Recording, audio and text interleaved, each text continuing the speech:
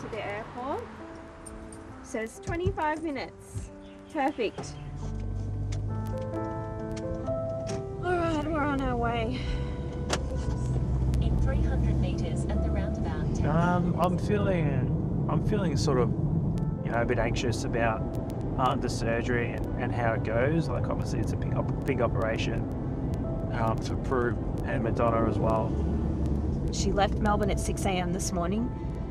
She's making a really big sacrifice for us. Tomorrow, Prue Craven will undergo a groundbreaking medical procedure. She will become the third woman in Australia to have a uterus transplant. I think for the first time in my life, I'm, I'm going to feel like a, a whole woman as well. Prue has MRKH syndrome and was born without a uterus. She does have ovaries and can produce viable eggs, but without a uterus, she can't carry a baby. Tomorrow's operation will give her that chance. Expect me to wake up and say, I have a uterus! Woohoo!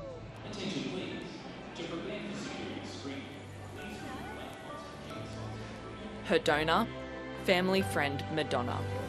That's good. Yeah, good.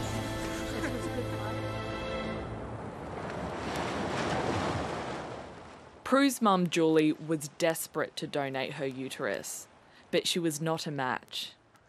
Julie's lifelong friend Madonna Kostorfin stepped in. She was almost in tears. And I, I, I sat a, across the table from her and I went, I'll do it. And it was just that, just like that. I, I like to help people, and this is something that I can do to help Prue and make Prue's An and amazing life better. Donna will undergo a radical hysterectomy.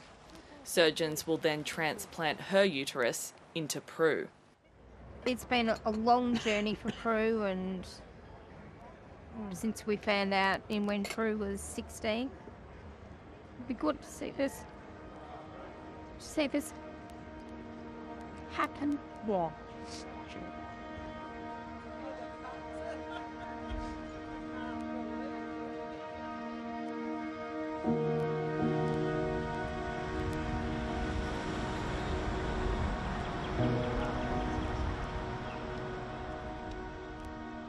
We've been through a huge amount of treatment, um, a lot more than most, I would say.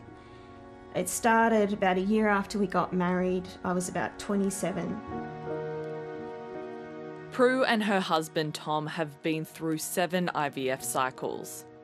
Three failed surrogacies in Thailand cost them more than $60,000 and all their frozen embryos. The couple looked into adoption when they moved to the UK. Then a friend in Australia offered to be a surrogate, which didn't work out. Prue discovered the uterus transplant trial in 2019 and has been waiting ever since. You, you can't go through like 20 years of medical challenges and infertility treatment, and you're either going to come out one way or the other. You're either going to come out broken down or you're either going to come out stronger. And I believe that I'm coming out stronger.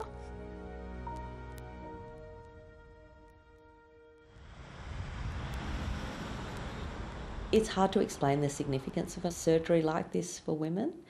I think for me, it's fantastic because it gives women another option and a choice. In the past, they could only do surrogacy or adoption, and that was not fulfilling a certain component of being a mother. In total, the surgery across both donor and recipient takes about 14 hours. It's just a cut on the tummy. For Madonna to have done this for Prue, it's just phenomenal. To be able to be so altruistic, to put yourself under surgery for such an extended period of time. Going through all of that is mammoth and not to be underestimated. Bye bye, a cute word. I think it's just a wonderful, wonderful thing that we have people in the world like Madonna who are willing to do this for someone else. Everything's really starting to feel so real now, and it's actually going to happen.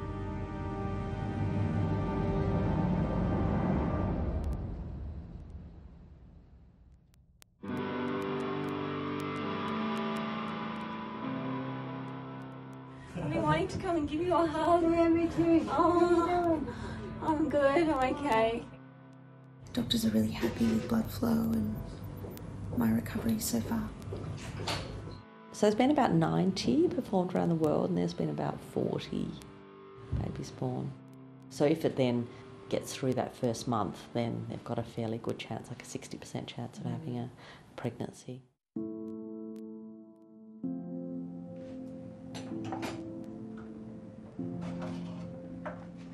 Was really hard to just sit there at hospital being completely helpless. And It's much easier to cope seeing them, um, you know, just gradually get better.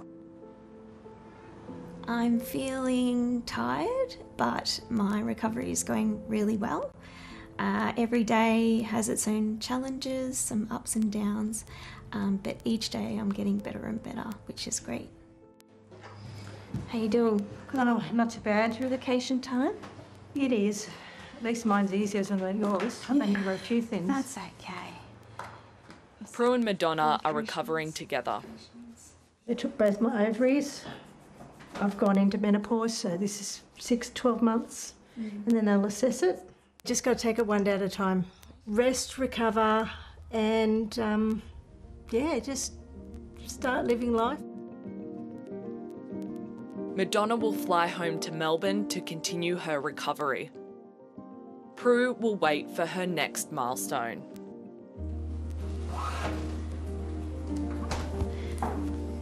Come on. So excited. Got to give mum a call. You pop it. Give everyone a call. Been waiting, been waiting 32 days exactly for this moment. This is my first time ever having a period in my whole life. Cheers! Cheers to periods! That's like a really positive sign that the, the transplanted uterus is doing exactly what it, it should be doing.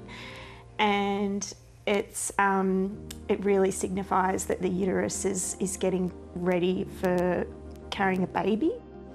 No, this is exciting. Yeah. In October, they'll have an embryo transfer, their first shot at pregnancy. my condition, MRKH, it affects one in 5,000 women, and to this day, there are still GPs, doctors that have never heard of this condition. It's taken a lot of belief and hope to get myself to where I am, and I just want to prove to everyone that it's possible.